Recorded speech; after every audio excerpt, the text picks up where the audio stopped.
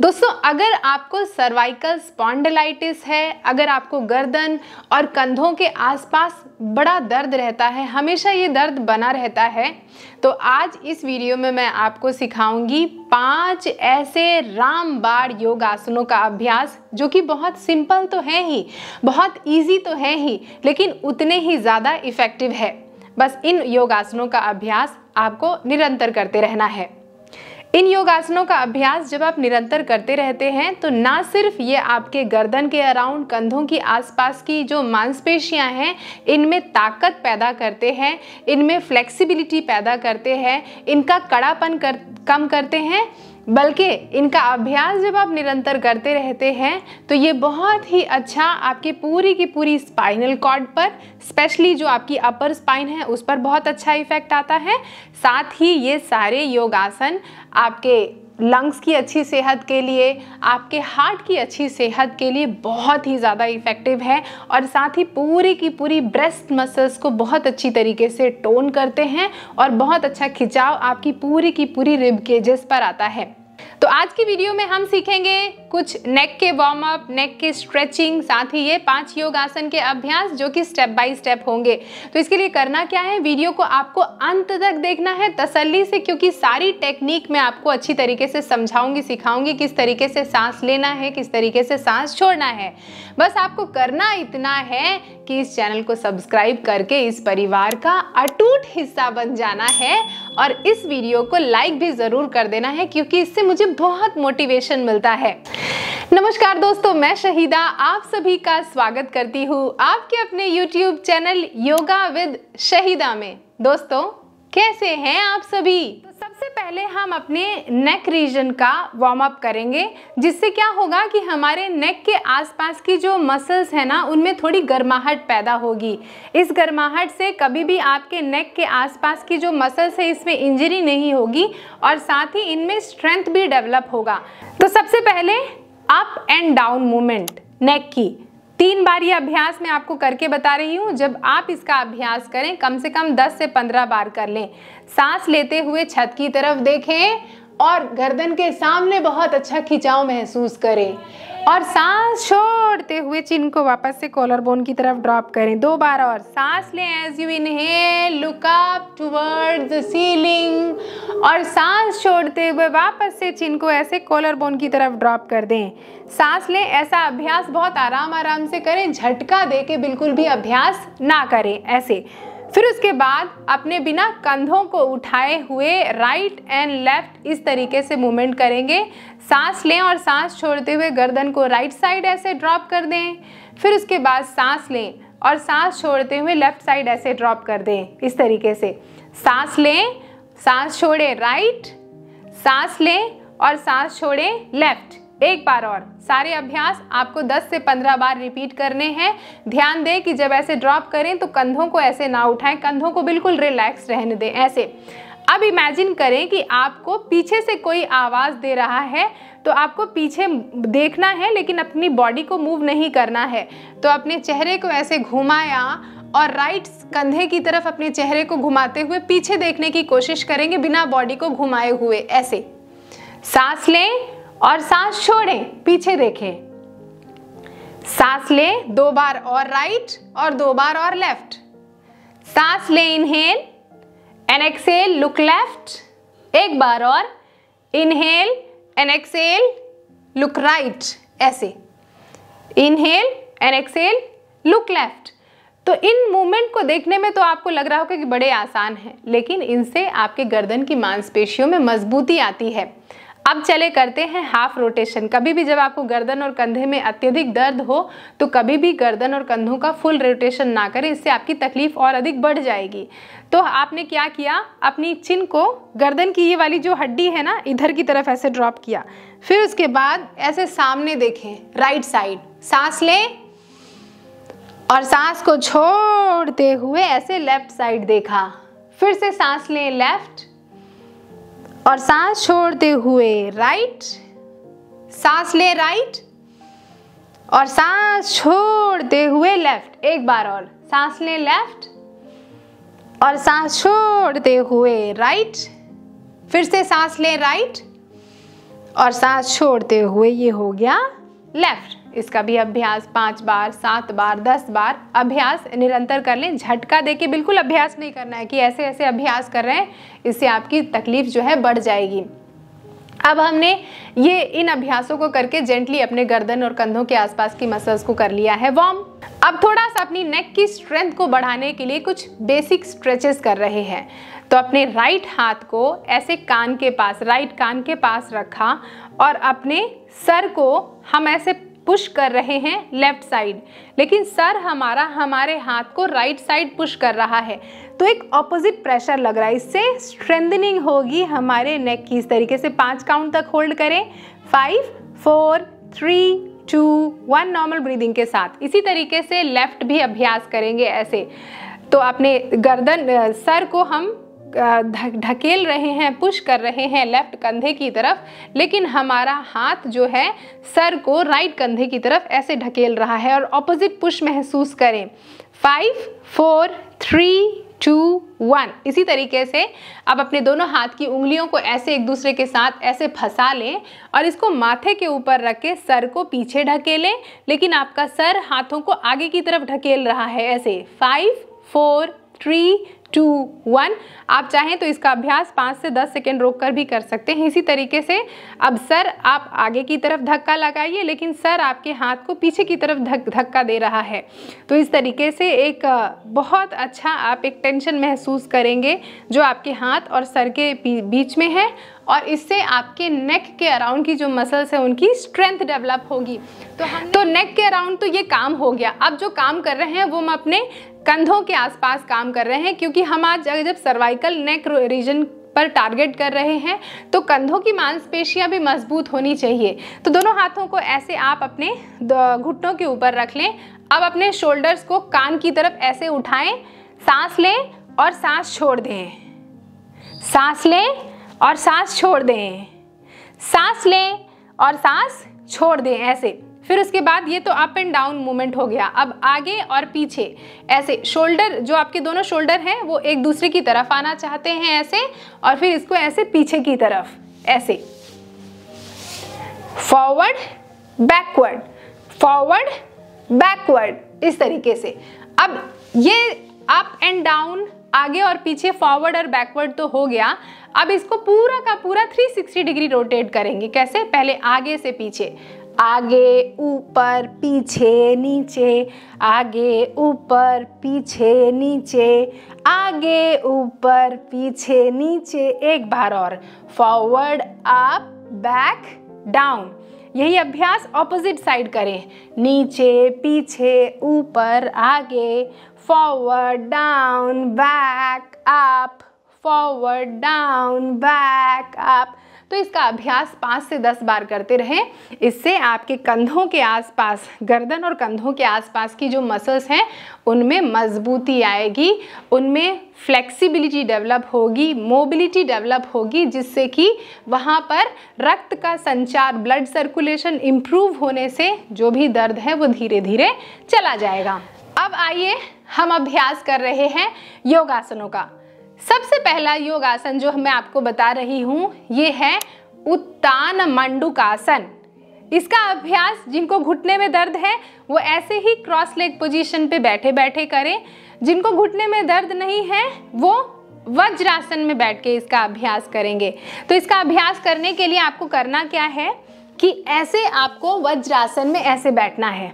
अब, जब आप वज्रासन में ऐसे बैठेंगे तो दोनों घुटनों को एक दूसरे के साथ जोड़ा हुआ है। अब क्या करेंगे?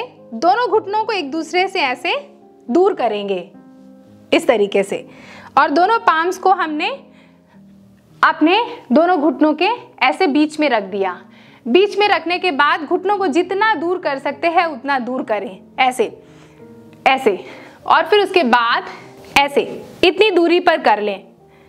और फिर उसके बाद दोनों हाथों को आपको ऐसे टी की पोजीशन पे लेके आना है।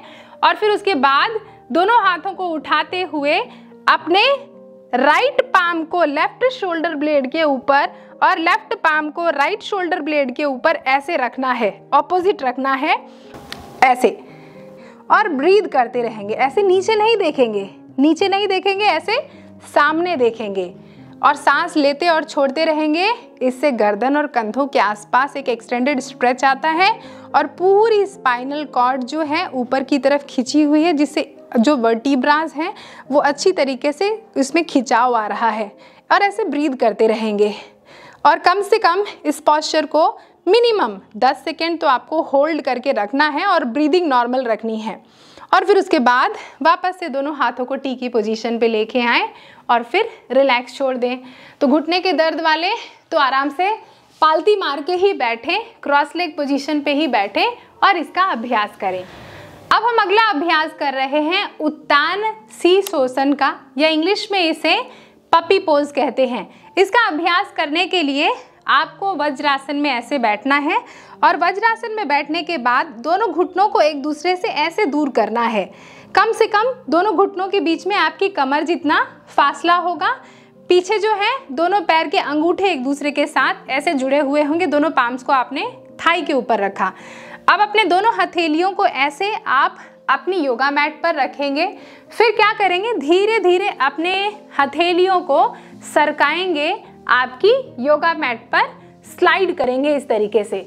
स्लाइड करते हुए धीरे धीरे आपकी हिप ऐसे उठेगी और आपकी हिप जैसे ही छत की तरफ़ गई, आपके चेस्ट को आपको मैट पर ड्रॉप करना है और आपके मैट पर जैसे ही आप चेस्ट ड्रॉप करेंगे ना तो जो आपकी ठुड्डी है, चिन है, इसको भी आपको आपकी योगा मैट पर ऐसे ड्रॉप करना है। और दोनों पैर जो पहले एक दूसरे के साथ थे, वो ऐसे एक दूसरे से दूर हो जाएँगे। ऐसे, इस तरीके से। और ब्रीद करना है।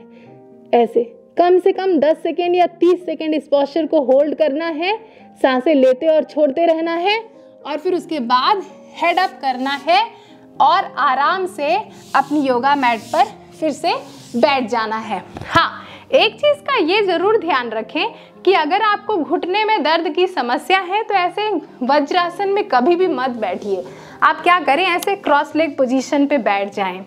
और क्रॉस लेग पोजीशन पे बैठने के बाद वही अभ्यास। थोड़ा इसको मॉडिफाई करके अभ्यास करेंगे ऐसे। दोनों हाथों को आगे की तरफ़ ऐसे फिसलाएँगे, जिससे पूरी की पूरी हमारी रीढ़ की हड्डी स्पाइनल कॉर्ड में एक खिंचाव आ गया, लेंदनिंग आ गई और फिर उसके बाद जितना आपका सर नीचे जाए, इसको इस तरीके से होल्ड करना है। अब इस तरीके से अभ्यास जब आप करेंगे तो पेट पर भी दबाव पड़ रहा है तो आपका डाइजेशन भी बेहतर होगा।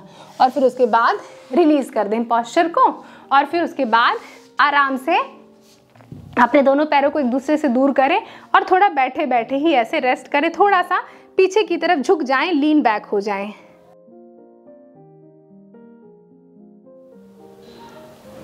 अब हम अगले कुछ पॉस्चर्स का अभ्यास कर रहे हैं, जो कि हम पेट के बल लेटकर करेंगे। प्रॉन पोजीशन पे। तो आराम से अपनी योगा मैट पर हम ऐसे लेट गए। अब हम अभ्यास करेंगे सलम्ब भुजंग आसन, या इंग्लिश में इसे सपोर्टेड कोबरा या कि फिर बेबी कोबरा के नाम से भी जानते हैं। तो इसमें क्या करना है? आपकी पैर की एड़ियों को ऐसे जोड़ना है। और अपने पैर के अंगूठों को ऐसे बाहर की तरफ़ रखना है। दोनों हथेलियों को जैसे हम कोबरा पोज का अभ्यास करते हैं तो चेस्ट के साइड में रखते हैं और अपने माथे को मैट पर ड्रॉप कर देते हैं। तो अब हम क्या करेंगे ये हमने मेज़रमेंट ले लिया। आप सभी अपने हाथ को चेस्ट के साइड में रखें और अपने सर को ऐसे ड्रॉप कर दें। फिर क्या करें कि जहाँ पर आपके हाथ की हथेली है ना, यहीं पर आप अपनी कुहनी को, एल्बो को ड्रॉप करें और पाम को ऐसे मैट पर, ऐसे ऊपर करके नहीं, मैट पर ऐसे ड्रॉप कर दें। दूसरे हाथ का भी इस तरीके से कर लें एडजस्टमेंट करें। फिर उसके बाद अपने सर को, छाती को ड्रॉप करें ऐसे। अब हम तैयार हैं आसन का अभ्यास करने के लिए। सांस लीजिए। हेड अप चेस्ट अप और अपनी बॉडी का वेट जो है अपर बॉडी का वेट एल्बो पर डालिए और जितना हो सके छत की तरफ़ देखिए। आपके पैर की एड़ियाँ और अंगूठे जुड़े हुए हैं पूरी हिप्स की मसल्स को आपने टाइट किया हुआ है और आपके पूरी की पूरी रीढ़ की हड्डी पर जो ऑपोजिट स्ट्रेच आ रहा है, ये मदद करेगा आपके सर्वाइकल पेन को कम करने में और स्पाइन से रिलेटेड समस्याओं में भी बहुत ही ज़्यादा मददगार है। तो ऐसे कम से कम 10 सेकेंड या 30 सेकेंड सांसों को लेते और छोड़ते रहिए, क्योंकि आपने सपोर्टेड कोबरा का अभ्यास किया है तो आपको कोई घबराहट होगी नहीं। अब हमने ये अभ्यास कर लिया अब हम रेस्ट करेंगे मकर आसन में और फिर मकर आसन के कुछ वेरिएशन करेंगे। अपने का क्या करें? राइट हथेली को लेफ़्ट शोल्डर पर लेफ़्ट हथेली को राइट कंधे पर ऐसे रखा और दोनों एल्बो को ऐसे बाहर रख दीजिए, ऐसे। फिर क्या करें? दोनों पैरों को एक दूसरे से दूर कीजिए और अपने चेहरे को, गर्दन को राइट साइड टर्न कर दीजिए और कम से कम 10 सेकेंड तक इस इस स्थिति में लेट, लेटे रहिए। फिर चेहरे को लेफ़्ट साइड, ऐसे, चेहरे को पहले लेफ़्ट शोल्डर की तरफ़ घुमाया था 10 सेकेंड या 30 सेकेंड ऐसे रोक के रखे ब्रीद करते रहे ब्रीद करते रहे ब्रीद करते रहे। सांसों को रोकना नहीं है, साँसें लेते और छोड़ते रहना है। फिर जब लेफ़्ट साइड हो जाए तो 10 सेकेंड या 30 सेकेंड दूसरी तरफ़ चेहरे को घुमा के ऐसे लेटे रहे। ब्रीद करते रहे ब्रीद करते रहे ब्रीद करते रहे। तो ये है मकर आसन का अभ्यास। अब मकर आसन का वेरिएशन मैं आपको सिखाती हूँ, जो कि अगेन आपको बहुत ही ज़्यादा मदद करेगा गर्दन और कंधों के आसपास की मसल्स में जो तनाव है उसको कम करने में। क्या करें कि अपने एल्बो और शोल्डर को एक लाइन में रखें, ऐसे। इस तरीके से। अब पीछे मत लेके जाएँ इसको, ऐसे। इसको कंधे को और अपनी कोहनी को एक लाइन में रखें। फिर क्या करें? पैरों को चाहें तो दूर ही रहने दें। पैरों का भी कोई कंट्रीब्यूशन नहीं है। फिर क्या करें? अपने राइट हथेली को राइट गाल के नीचे ऐसे और लेफ़्ट हथेली को लेफ़्ट गाल के नीचे ऐसे रख दें। इस तरीके से और सामने देखें और अपने चेहरे को एकदम ढीला छोड़ दें। फिर क्या करें? अब धीरे धीरे जैसे आप वॉक करते हैं ना, उस तरीके से अपने दोनों एल्बो को ऐसे दूर लेके जाएँ अब देख रहे हैं कितना अच्छा एक एक्सटेंडेड स्ट्रेच मिल रहा है आपके गर्दन के सामने और पीछे की पूरी की पूरी मांसपेशियों पर एक बहुत अच्छा एक खिंचाव महसूस करेंगे आप। ऐसे जितना एल्बो आपकी दूर जा सके, उतना एल्बो आपको दूर रखना है। और यहाँ पे इस पॉस्चर को भी मिनिमम 10 सेकेंड 30 सेकेंड या एक मिनट होल्ड करके रखें और ब्रीदिंग करते रहना है आपको। साँसें रोकनी नहीं है, क्योंकि 30 सेकेंड या 60 सेकेंड हम साँसें रोक के नहीं रख सकते हैं, ऐसे। इस तरीके से। फिर उसके बाद इसको रिलीज़ कर दे। वापस से जो पहला वाला मकर आसन बताया था राइट पाम को लेफ़्ट शोल्डर पर लेफ़्ट पाम को राइट शोल्डर पर रखें और एल्बो को बाहर ही रहने दें। वापस से अपने चेहरे को लेफ़्ट शोल्डर की तरफ़ लेफ़्ट कंधे की तरफ़ घुमा दिया। यहाँ पर रेस्ट करेंगे। चाहे तो एक मिनट तक रेस्ट कर लें, ऐसे लेटे लेटे, ऐसे। फिर जब लेफ़्ट साइड हो जाए, फिर चेहरे को राइट साइड घुमा दें। इधर भी कम से कम एक मिनट, तीस सेकेंड तक रेस्ट करें। अब मैं आपको अगला एक बहुत बेहतरीन जो स्ट्रेच है, आसन है पॉस्चर है, वो सिखा रही हूँ। अगर इस आसन का अभ्यास आप करते रहते हैं ना तो बैक में जो पेन होता है वो भी दूर होगा। चेस्ट बहुत अच्छी तरीके से ओपन होगी। आपका हार्ट आपके लंग्स आपके सारे इंटरनल ऑर्गन्स आपको बहुत थैंक यू बोलेंगे। एक चीज़ और मैं आपको बता दूँ आपने अगर ये चीज़ नोटिस की है कि जब आप पेट के बल लेटे हुए हैं तो पूरे आंतरिक अंगों पर कितनी अच्छी दबाव पड़ रही है। इससे आपके पेट की मांसपेशियाँ मज़बूत होंगी। तो जिन अब हम अभ्यास कर रहे हैं सर्पासन का। इसका अभ्यास करने के लिए दोनों पैर की एड़ियों को ऐसे एक दूसरे के साथ जोड़ लें। और अपने अंगूठे को बाहर की तरफ़ ऐसे रखें, ठीक है? अब क्या करें? अपने पूरे चेस्ट को, सर को अपनी मैट पर ऐसे ड्रॉप कर दिया। ध्यान कंधों पर रखिएगा। क्या करेंगे? दोनों हाथों को ऐसे अपनी बॉडी के पीछे लेके जाएँ और उंगलियों को ऐसे फंसाना है है ना? ऐसे इंटरलॉक करना है। दोनों हथेलियों को बॉडी के पीछे लेके गए और उंगलियों को ऐसे फंसा दिया। और चेहरे को ऐसे ड्रॉप कर दिया। अब कंधे को मैंने बोला था देखने के लिए तो कंधे को देखने के लिए देखिए, ऐसे पीछे रोल बैक करेंगे कंधों को और फिर छत की तरफ़ देखने की कोशिश करेंगे। जितना अपनी चेस्ट को उठा सकते हैं, हाथ को बाहर की तरफ़ खींच सकते हैं, खींचे। One two three four five six seven eight nine ten exhale normal breathing के साथ ये सारे अभ्यास करेंगे। मैंने 10 काउंट तक होल्ड किया। अगर आपसे 10 काउंट ना होल्ड करने आए तो आप कम से कम पाँच काउंट तक होल्ड कर लें। पाँच भी ना आए तो तीन से सो शुरुआत करें। लेकिन शुरुआत ज़रूर करें। इस अभ्यास को करने से पूरी बैक मसल्स बहुत अच्छी तरीके से खिंच गई। कभी भी ज़िंदगी में आपको लोअर बैक पेन की समस्या या स्पाइन से रिलेटेड कोई भी समस्या हो ही नहीं सकती, अगर आप ये अभ्यासों को करते रहते हैं। आराम से अपनी योगा मैट पर लेट जाएँ। कम से कम पाँच से दस मिनट तक ऐसे ही लेटे रहें। पूरी बॉडी को रिलैक्स करें, ढीला छोड़ दें। दोस्तों, अगर आप भी मेरी निगरानी में रह के योग का अभ्यास करना चाहते हैं तो आप सभी का स्वागत है मेरी ऑनलाइन योगा क्लासेस में।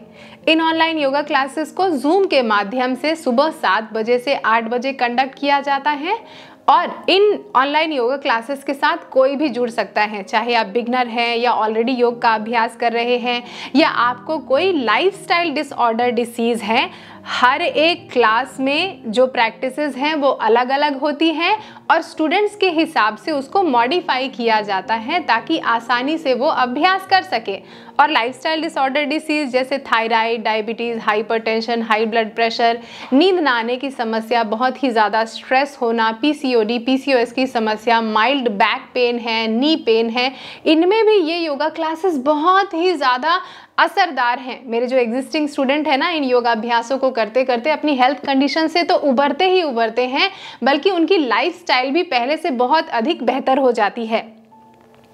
अगर आप जानना चाहते हैं कि इन योगा क्लासेस में क्या क्या सीखने के लिए मिलेगा तो हर दिन आपको अलग अलग तरीके के योगासन, प्राणायाम मेडिटेशन डीप रिलैक्सेशन की टेक्निक्स और साथ ही क्लिनजिंग टेक्निक भी सिखाई जाती हैं, जो कि मेरी ही गाइडेंस में आप सीखते हैं। अगर आप सुबह सात बजे से आठ बजे ये जूम क्लासेस नहीं ज्वाइन कर पा रहे हैं, कोई बात नहीं। कुछ रिकॉर्डेड सेशन हैं, कुछ मैंने कोर्सेज डेवलप किए हुए हैं योगा फॉर बिगनर्स का कोर्स या प्राणायाम या मेडिटेशन का कोर्स आप इन कोर्सेज को परचेस करके किसी भी वक्त, किसी भी जगह, कितनी भी बार इन रिकॉर्डेड सेशंस को ऑन करके अपनी प्रैक्टिस को अपने हिसाब से अपने घर के कंफर्ट में प्रैक्टिस कर सकते हैं।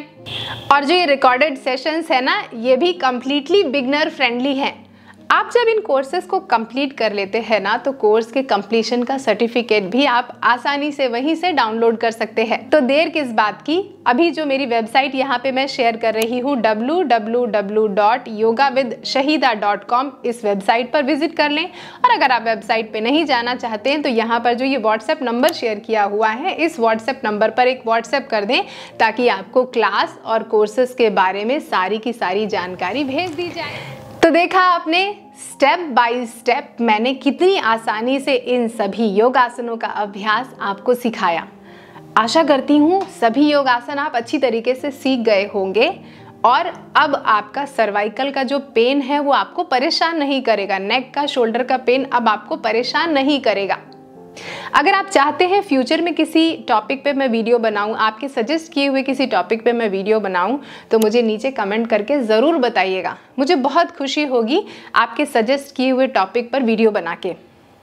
अगली वीडियो में बहुत जल्दी मिलूँगी, तब तक आप सभी अपना खूब ख्याल रखिएगा, निरंतर योग का अभ्यास कीजिएगा और अपने परिवार का ध्यान रखें। अगली वीडियो में बहुत जल्दी मिलूँगी, जाने से पहले चैनल को ज़रूर सब्सक्राइब कर लीजिएगा, इस वीडियो को भी लाइक कर दीजिएगा और साथ ही मेरी वीडियो पसंद आई हो तो अपने दोस्तों और रिश्तेदारों के साथ भी खूब शेयर कीजिएगा। नमस्ते।